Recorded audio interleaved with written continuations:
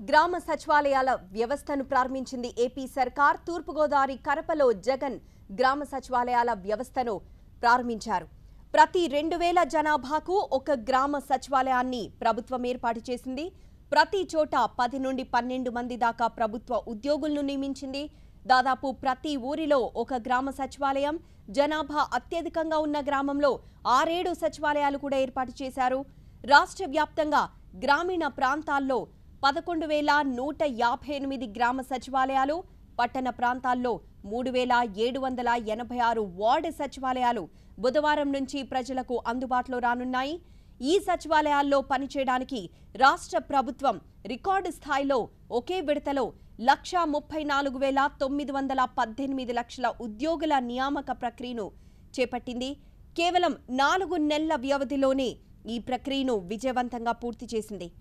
ఇక పింఛన్లు రేషన్ కార్డులు ఇంటి పట్టా వంటి వాటి కోసం పేదల మండల ఆఫీసులు కలెక్టరేట్ రాజధానిలో ఉండే శాఖాధిపతుల కార్యాలయాల చుట్టూ తిరగాల్సిన పరిస్థితి ఉండకూడదని ముఖ్యమంత్రి వైఎస్ జగన్మోహన్ రెడ్డి సంకల్పించారు. ప్రస్తుతం గ్రామ స్థాయిలో కేవలం పంతొమ్మిది రకాల సేవలు పంచాయతీల ద్వారా అందజేసే అధికారం ఉంది. ఈ పరిస్థితిని మార్చేస్తూ ఐదు వందల రకాల ప్రభుత్వ సేవలను గ్రామ సచివాలయ ద్వారా ప్రజలకు అందుబాటులోకి తీసుకురావాలని రాష్ట్ర ప్రభుత్వం నిర్ణయించింది. అక్టోబర్ రెండవ తేదీ నుంచి ప్రతి నెల కొన్ని సేవల చొప్పున గ్రామ సచివాలయాల ద్వారా ప్రజలకు అందజేస్తారు.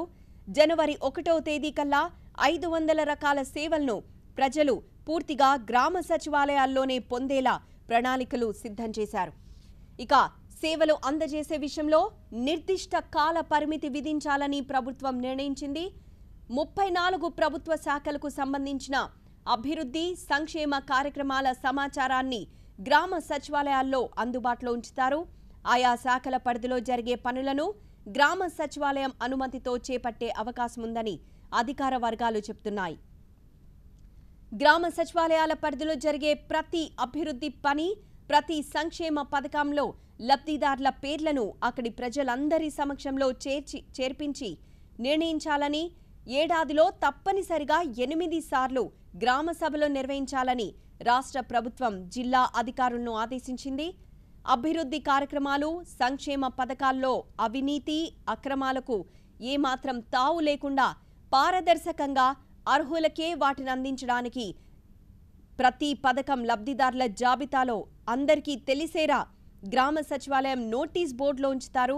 ఏ శాఖ ద్వారా ఏ పనికి ఎంత ఖర్చు పెట్టారనే వివరాలను సైతం సచివాలయంలో అందరికీ అందుబాటులోకి తీసుకొస్తారు. ఇక ఈ ఏడాది ఆగస్టు పదిహేనవ తేదీన వాలంటీర్ల వ్యవస్థను రాష్ట్ర ప్రభుత్వం ప్రారంభించిన సంగతి తెలిసిందే. ప్రతి యాభై ఇళ్ళకు ఒక వాలంటీర్ను నియమించారు. వీరు పింఛన్ రేషన్ సరుకులను లబ్ధిదారుల ఇంటికి వెళ్ళి పంపిణీ చేస్తారు. వాలంటీర్లు గ్రామ సచివాలయంతో అనుసంధానమై పనిచేయాలని ప్రభుత్వం నిర్దేశించింది. గ్రామీణ ప్రాంతంలో లక్షా తొంభై మూడు వేల నాలుగు వందల ఇరవై ఒక్క మంది గ్రామ వాలంటీర్లు పట్టణ ప్రాంతంలో డెబ్బై నాలుగు వేల ఆరు వందల యాభై తొమ్మిది మంది వార్డు వాలంటీర్లు మొత్తం రెండు లక్షల అరవై ఎనిమిది వేల ఎనభై మంది వాలంటీర్లను రాష్ట్ర సర్కారు నియమించింది.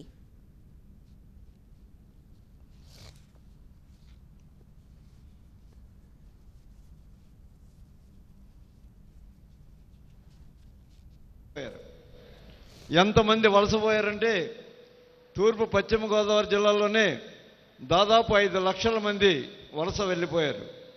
మరలా ఈవేళ మళ్ళీ రెండవ తరం వ్యవసాయ రంగంలోకి వచ్చింది.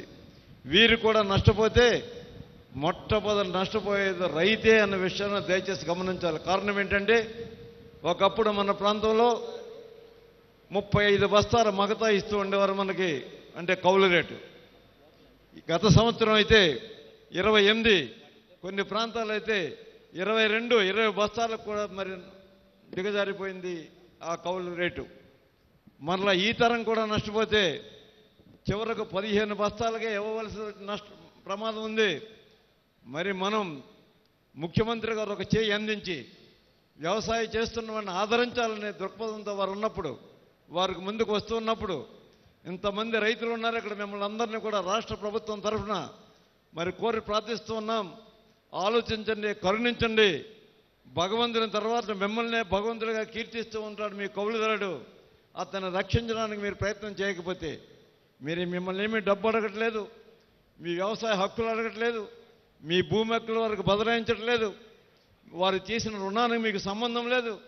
మరి ఈ విధంగా మీకు హక్కులు కల్పిస్తూ ఉన్నప్పుడు ఆదుకోవలసిన మీరు కొంచెం వెనుకంజ వేయటం ఏమాత్రం కూడా ధర్మం కాదు.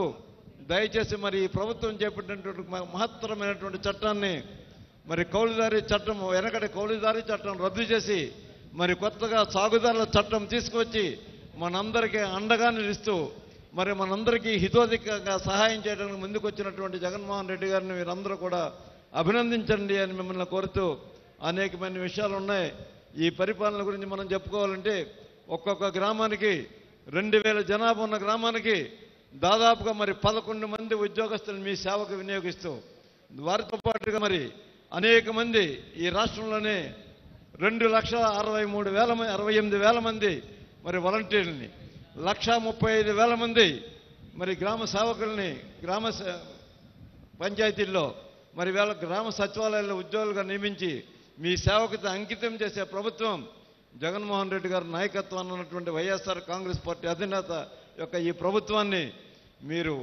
ఆదరించవలసింది అభినందించవలసినటువంటి అవసరం ఉందని తెలియజేస్తూ మరి నాకు ఈ అవకాశం ఇచ్చినటువంటి మరి మిత్రులు కన్నబాబు గారికి మరి మీ అందరికీ కూడా హృదయపూర్వకమైనటువంటి ధన్యవాదాలు తెలియ